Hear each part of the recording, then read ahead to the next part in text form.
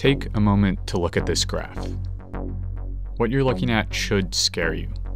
This is the new reality of American coastlines, and, for that matter, the world's coastlines. Compiled by the New York Times, these two series of data points show the drastic coastal encroachment in American cities Miami, Boston, Annapolis, and Charleston. Each set reveals a trend in the rise of sea level combined with increased sunny day or nuisance flooding, all of which is currently happening as we speak and these high tide floods will continue to get worse. These graphs show that sea level rise is not just a problem for the future, it's here already and is affecting communities globally and locally. Which means that today, we're going to unpack sea level not as an amorphous indicator of future apocalyptic doom, but as a real problem that is beginning to impact American cities along the coast. According to NASA, the sea's level has risen over 7 inches in the past 100 years as a result of two factors melting of land ice at the poles and the expansion of the ocean as it heats up. Now, 7 inches may not seem drastic, but according to oceanographer John Englander, it's more substantial than it seems. Inland, but the ratio is surprising. For each foot of rise, the average global shoreline moves inland about 300 feet the length of a football field. With more greenhouse gases in the air than in human history, global temperatures will inevitably begin to rise, and with it, sea level. But really, why is this important to know now? In order to answer that, we need to return to those graphs to get a sense of what sea level looks like on the ground level. At its core, the data shows the increased presence of nuisance flooding in coastal cities, which in this case is the city of Annapolis in Maryland.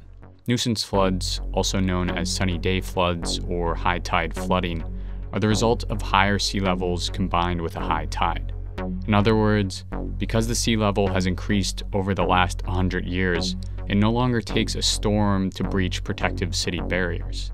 Instead, merely high tide can be enough to push water onto roads and flood neighborhoods. Take, for example, Miami. In Miami, as the tide begins to rise, water is pushed up through storm drains and back onto the streets, which on a sunny day can be a bit concerning for citizens. And this is not only happening along Miami's shore, it's also happening inland in low income neighborhoods. It's gonna devalue the home eventually. Yeah. If people are gonna come by and see it, then there's no interest in buying a property like that. You're surrounded by stinky water. So, for many, these floods are no longer just a nuisance, but pose a very real threat to their homes and livelihoods. Recognizing that these floods are happening across the country's coastlines is important because it's one of the first tangible markers of a changing climate, which means that how we react to the problem of tidal flooding might help set the tone for navigating the growing list of consequences of climate change. Miami's mayor is by no means turning a blind eye to the water on the streets. But like many coastal cities around the US, often the issue is tied up in ideological gridlock. And the difficulty we're having is convincing the governor and the Secretary of Transportation that they need to fix their roads. But unfortunately, we have an administration in Tallahassee that doesn't believe in sea level rise. So, despite the very real consequences of sea level rise, like road closures and flooded homes, an effort to quell and mitigate the growing tide is lackluster at best.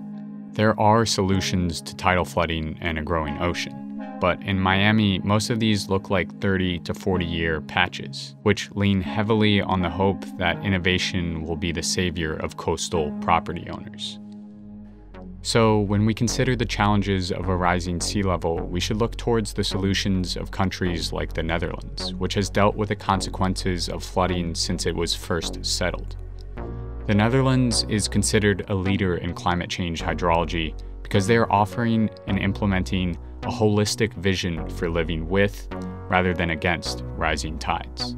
As the New York Times puts it, many of the Dutch view climate change not as a problem, but as an opportunity.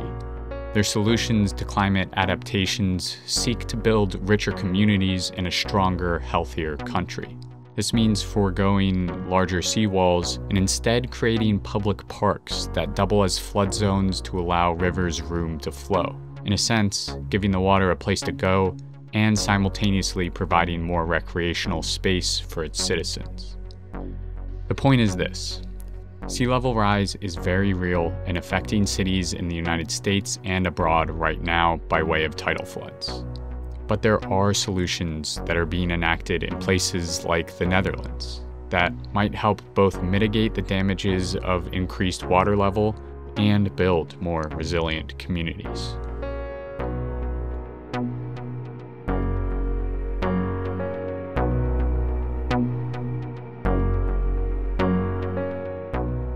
Thanks so much for watching. If you're feeling generous today or just like watching my videos, consider supporting this channel on Patreon where you can pledge a dollar or more for every video I release. This goes a long way to helping me make better videos on environmental issues. Otherwise, I'll see you next time.